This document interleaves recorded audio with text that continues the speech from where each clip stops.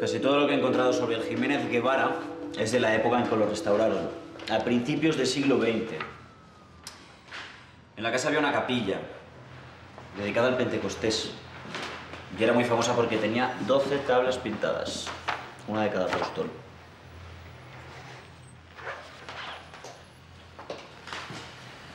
Ya. Pero ni rastro del símbolo del cangrejo grabado en la vasija. Y sin embargo, estoy convencido de que tiene que haber alguna relación.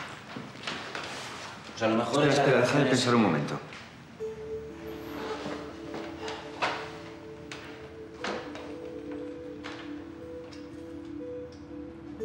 Seguro que Javier es escorpión.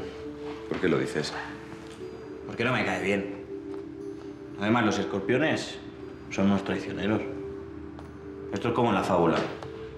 El escorpión convence a la rana para que crucen juntos el río. ¿Y luego qué pasa?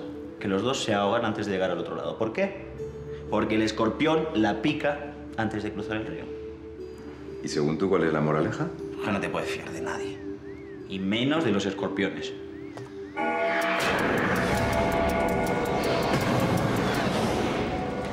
Doce. Doce. Doce. Oye, ¿y si el cangrejo representa el símbolo de cáncer? Y los signos del zodíaco son doce, como los apóstoles.